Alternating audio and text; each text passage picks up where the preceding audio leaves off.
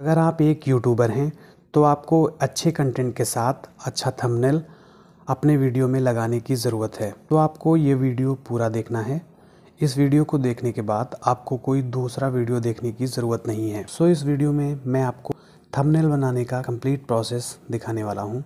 तो चलिए शुरू करते हैं।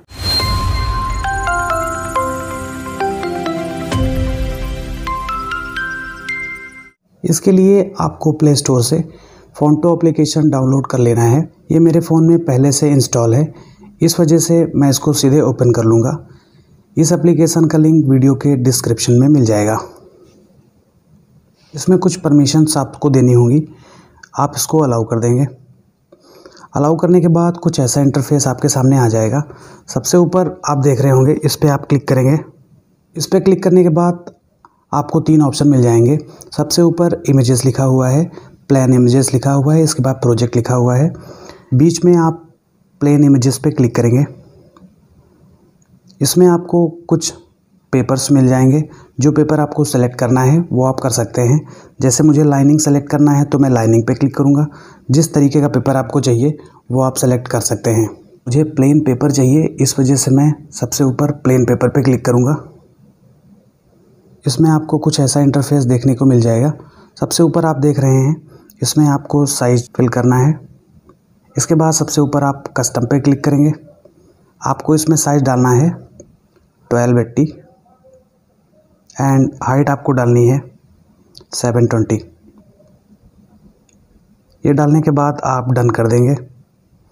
डन करने के बाद आप नीचे देख रहे होंगे, इसमें आपको कलर फिल करना है। तो आप कलर सेलेक्ट कर लेंगे जो भी आपको पसंद है। जैसे मैं येलो कलर्स चूज़ करूँगा। इसके बाद आप नीचे देख रहे होंगे, आप अप्लाई पे क्लिक करेंगे। इसके बाद यूज़ पे क्लिक करेंगे। आपका पेपर सेलेक्ट हो जाएगा। इसमें आप जो लिखना चाहें, वो लिख सकते हैं। आप अगर इसमें कुछ लिखना चाहते हैं, हिंदी में हो या फिर इंग्लिश में, सबसे ऊपर आप देख रहे होंगे पेन का सिंबल बना हुआ है, उस पर आप क्लिक करेंगे। इसमें मैंने यूट्यूब लिख दिया है। इसके बाद अगर मैं अपना फ़ॉन्ट चेंज करना चाहता हूँ तो आप इस फ़ॉन्ट पर क्लिक करेंगे। इसमें बहुत सारे ऑप्शन मिल जाएँगे। जैसे मैं ये वाला सेलेक्ट करूँगा। इसके बाद डन आप कर देंगे। अब ये मेरा लिख के आ गया है।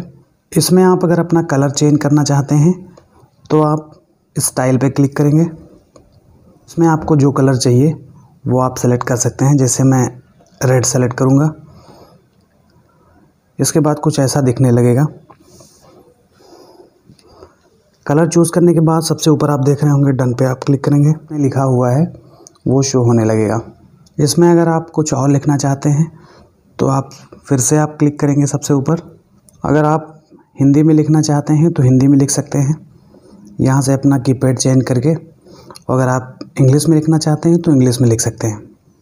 जैसे कि मैंने वीडियोस लिख दिया है, इसके बाद आप इस पर डन कर देंगे। डन करने के बाद इसी पे ये पेस्ट हो जाता है तो आपको इसे नीचे घिसका लेना है। इसके बाद आप इसका कलर अगर चेंज करना चाहते हैं तो आप इसका कलर चेंज कर सकते हैं। मैं आप इसी पे क्लिक करेंगे फिर से।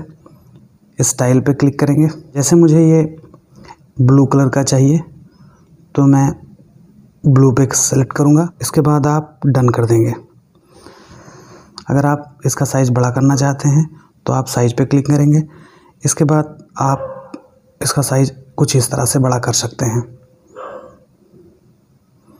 इसके बाद आप जहाँ इसको सेट करना चाहते हैं, कर लीजिए। इसमें अगर आप कुछ और लिखना चाहते हैं तो फिर से आपको वही प्रोसेस करना होगा। कुछ इस तरह से आप लिख सकते हैं। अगर आप इसमें कोई इमेज ऐड करना चाहते हैं तो आप सबसे ऊपर थ्री डॉट पे क्लिक करेंगे। इसमें आपको ऐड इमेज ऑप्शन मिल जाएगा। इस पर आप क्लिक करेंगे। आपकी गैलरी खुल जाएगी। इसके बाद जो आपको इमेज सेलेक्ट करनी है, वो आप सेलेक्ट कर लेंगे। सेलेक्ट करने के बाद आप कॉर्नर में देख रहे होंगे, छोटी सी इमेज आ गई है। आप उसको बड़ा भी कर सकते हैं। आप उस इमेज पे आप क्लिक करेंगे तो आपको कुछ ऑप्शन मिल जाएँगे। जैसे कि मुझे इसका साइज़ बड़ा करना है तो कुछ इस तरह से इसका साइज़ बड़ा या छोटा कर सकते हैं। इसमें आपको जहाँ भी उसको सेट करना है, आप उसको सेट कर देंगे। इसमें आप मुझे पेन वाले सिंबल पे क्लिक करूँगा। इसमें 2022 लिखना चाह रहा हूँ। वो लिखने के बाद मैं फ़ॉन्ट पे क्लिक करूँगा। इसमें बहुत सारे फ़ॉन्ट आ जाएँगे। मुझे ये वाला फ़ॉन्ट चाहिए। ये सिलेक्ट करने के बाद, इसके बाद आप डन कर देंगे। आप देख रहे होंगे, फिर ये कॉर्नर में आ गया है। इसको आप जहाँ सेट करना चाहते हैं, वो सेट कर सकते हैं। जैसे मैं इसको कॉर्नर में सेट करना चाह रहा हूँ तो मैंने इसको कॉर्नर में सेट कर दिया है, कुछ इस तरीके से। इसमें आप अगर कोई और फ़ोटो ऐड करना चाहते हैं तो वही सारा प्रोसेस आपको फिर से करना होगा।